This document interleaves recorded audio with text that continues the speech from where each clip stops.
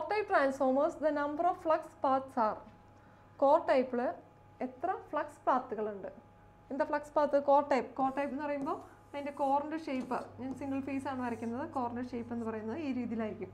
അതായത് L I sections വെച്ചിട്ടായിരിക്കും core ഉണ്ടാക്കിയിട്ടുണ്ടാവുക. ഈ ഒരു ഷേപ്പിലായിരിക്കും ഇപ്പോൾ ഇവിടെ എന്താ ചെയ്യുക ഇവിടെ പ്രൈമറി വൈൻഡിങ് ഇവിടെയുണ്ട് സെക്കൻഡറി വൈൻഡിങ് ഇവിടെയുണ്ട് അപ്പോൾ ഇതിവിടെ ഫ്ലക്സ് ഫ്ലോ ചെയ്യുന്ന പാത്ത് എന്ന് പറയുന്നത് എങ്ങനെയാണ് ഈ കോറിൽ കൂടെ ഇങ്ങനെയായിരിക്കും അല്ലേ? ഇതിൽ കൂടെ ആയിരിക്കും. ഇങ്ങനെയായിരിക്കും ഫ്ലക്സ് ഫ്ലോ ചെയ്യാം. അപ്പോൾ ഈ ഫ്ലക്സിന്റെ പാത്ത് എത്ര പാത്തുണ്ട് കോർ ടൈപ്പിൽ കോർ ടൈപ്പിൽ സിംഗിൾ പാത്തല്ലേ ഉള്ളൂ. ഫ്ലക്സ് ഫ്ലോ ചെയ്യാനായിട്ട്. അതേസമയം ഷെൽ ടൈപ്പ് ആണെങ്കിലോ? ഷെൽ ടൈപ്പ് ആകുമ്പോൾ അതിന്റെ കൺസ്ട്രക്ഷൻ എങ്ങനെ വരും? ഈ രീതിയിലാണ് വരിക. ഇവിടെ വൈൻഡിങ് ഉണ്ടാവും. ഇപ്പോൾ ഇവിടെ ഒരു ഫ്ലക്സ് ഫൈ ഉണ്ടെങ്കിൽ അതിന് രണ്ട് പാത്ത് ഉണ്ടാവും. അത് ഇങ്ങനെ ഇങ്ങനെ. ഓക്കെ രണ്ട് പാത്ത് ഉണ്ടാവും. ഇവിടെ ഒരു ഫ്ലക്സ് ഫൈ ഉണ്ടെങ്കിൽ ഇതുവഴി ഇങ്ങനെ ഒരു പാത്തും ഇതുവഴി ഇങ്ങനെ ഒരു പാത്തും അതേസമയം കോറിൽ ഇതുപോലെ ഒരു സിംഗിൾ പാത്തേ ഫ്ലക്സ് ഫ്ലോയ്ക്ക് ഉള്ളൂ. ഓക്കെ അപ്പോൾ ഇവിടെ ഫ്ലക്സ് ഡിസ്ട്രിബ്യൂട്ടഡ് ബൈ ടു അല്ലെങ്കിൽ flux is distributed in two parts as five by two and five by two here it is five okay single പാത്തേ ഉള്ളൂ. അപ്പോൾ അത് മനസ്സിലാക്കുക the next question and infrared L E D is usually fabricated from colour വെച്ചിട്ട് L E ഡിയുടെ material പഠിച്ചു വെക്കണം. ഇവിടെ ചോദിച്ചിരിക്കുന്നത് ഇൻഫ്രാറെഡ് എൽ ഇ ഡി ആണ്.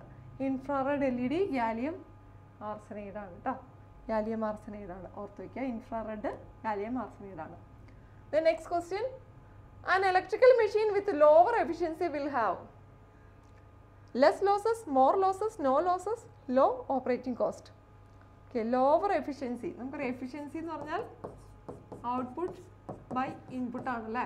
ഇതിനകത്ത് ഈ ഔട്ട്പുട്ട് എന്നുള്ളതിന് നമുക്ക് എന്തെന്ന് എഴുതാം? ഇൻപുട്ട് മൈനസ് ലോസസ് എന്ന് എഴുതാം. അപ്പോൾ ആ രീതിയിൽ എഴുതുവാണെങ്കിൽ ഇങ്ങനെ ഇക്വേഷൻ വരും. അല്ലെങ്കിൽ എന്തെന്ന് എഴുതാം? ഔട്ട്പുട്ട് ബൈ ഇൻപുട്ടിനെ ഔട്ട്പുട്ട് പ്ലസ് ലോസസ് എന്ന് എഴുതാം. ഓക്കെ അപ്പോൾ ഇതാണ് എഫിഷ്യൻസിയുടെ ഇക്വേഷൻസ് ഇവിടെ എന്താ ചോദിച്ചിരിക്കുന്നത് ലോവർ എഫിഷ്യൻസി ആണ്. Electrical machine will have lower efficiency lower efficiency ആണെങ്കിൽ ലോസസ് എങ്ങനെയാണ് എന്നാണ് ചോദ്യം. ഓക്കെ ഇപ്പോൾ എഫിഷ്യൻസി ലോ ആണെന്ന് വെച്ച് കഴിഞ്ഞാൽ ഈ വാല്യൂ ലോ ആണ്. അല്ലെങ്കിൽ ഈ ന്യൂമറേറ്റർ ലോ വാല്യൂ ആണ്. ന്യൂമറേറ്റർ ലോ വാല്യൂ എന്ന് വെച്ച് കഴിഞ്ഞാൽ എന്തെന്ന് അർത്ഥം? ഈ ലോസസ് ഹൈ വാല്യൂ ആയിരിക്കും. എന്നല്ലേ അർത്ഥം? ഈ ഇക്വേഷൻ പ്രകാരം. അല്ലേ? ഇവിടെയാണെങ്കിലോ ഇവിടെ എഫിഷ്യൻസി ലോ ആണെങ്കിൽ ഡിനോമിനേറ്റർ ഹൈ ആയിരിക്കും. ഡിനോമിനേറ്റർ ഹൈ ആവണമെങ്കിൽ ഔട്ട്പുട്ട് പ്ലസ് ലോസസ് ആണ്. ലോസസ് ഹൈ ആവണം ഓക്കെ ഏത് രീതിയിൽ നോക്കിയാലും എഫിഷ്യൻസി കുറവുള്ള ഒരു സിസ്റ്റത്തിന് ലോസസ് കൂടുതലായിരിക്കും. എന്നുള്ളത് നമുക്ക് മനസ്സിലായല്ലോ. ഈ നോർമലി ഇങ്ങനത്തെ ഇക്വേഷൻസ് ഒന്നും ഇല്ലാതെ തന്നെ ആലോചിച്ചാൽ ലോസസ് കൂടുതലാണെങ്കിൽ എഫിഷ്യൻസി കുറവായിരിക്കും. കാരണം നമുക്ക് യൂസ്ഫുൾ ആയിട്ടുള്ള ഔട്ട്പുട്ടാണ് എഫിഷ്യൻസി അല്ലേ? ഔട്ട്പുട്ട് കൂടി കഴിഞ്ഞാൽ യൂസ്ഫുൾ ഔട്ട്പുട്ട് കൂടി കഴിഞ്ഞാൽ എഫിഷ്യൻസി ഹൈ ആണ്. ലോസസ് കൂടുക എന്ന് വെച്ചാൽ എഫിഷ്യൻസി കുറയുകയാണ്. ഓക്കെ അപ്പോൾ ഇവിടെ മോർ ലോസസ് എന്നുള്ള ആൻസർ വരിക. Okay more losses next question hydro generator is commercially known as hydro generator is a commercial name of എന്താണ്? ഹൈഡ്രോ ജനറേറ്റർ ഏതാ? നമ്മൾ സിംഗ്ലസ് ജനറേറ്ററിൽ രണ്ട് ടൈപ്പ് പഠിക്കുന്നുണ്ടല്ലേ? സാലിയൻ പോളും നോൺ സാലിയൻ പോളും എന്ത്? സാലിയൻ പോൾ എന്ന് പറയുന്നത് ആണ് എന്ത്? ഹൈഡ്രോ ജനറേറ്റർ അപ്പോൾ ഇവിടെ ഓപ്ഷൻസിൽ ആ option C salient pole സിംഗ്ലസ് generator ആണ് ഹൈഡ്രോ ജനറേറ്റർ എന്താ അതിന്റെ പ്രത്യേകത? അത് സാലിയൻ പോളാണ് അല്ലേ അതിന്റെ സ്ട്രക്ചറാണ് സാലിയൻസി ഓക്കെ സാലിയൻ പോൾ എന്ന് പറയുമ്പോൾ എങ്ങനെ വരും?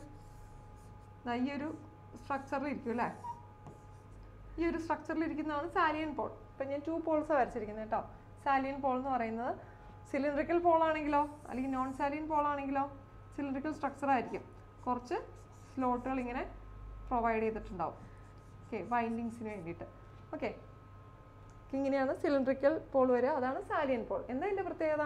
സാലിയൻ പോൾ എന്ന് പറഞ്ഞാൽ പ്രൊജക്റ്റിംഗ് പോൾസ് ആണ്. ഇത് ലോ സ്പീഡാണ് ലോ സ്പീഡാണ് അതിന്റെ അതിന്റെ സ്ട്രക്ചർ അല്ലെങ്കിൽ അതിന്റെ ഡയമീറ്റർ എന്ന് പറയുന്നത് ലാർജ് ആണ്. ലാർജ് ഡയമീറ്റർ ആണ് ലോ സ്പീഡാണ് ഇൻ കേസ് ഓഫ് സിലിണ്ടറിക്കൽ വരുമ്പോൾ സ്പീഡ് ഹൈ സ്പീഡാണ് ടർബോ ജനറേറ്റേഴ്സ് ആണ് യൂഷ്വലി ഈ സിലിണ്ടറിക്കലിൽ വരാറുള്ളത്.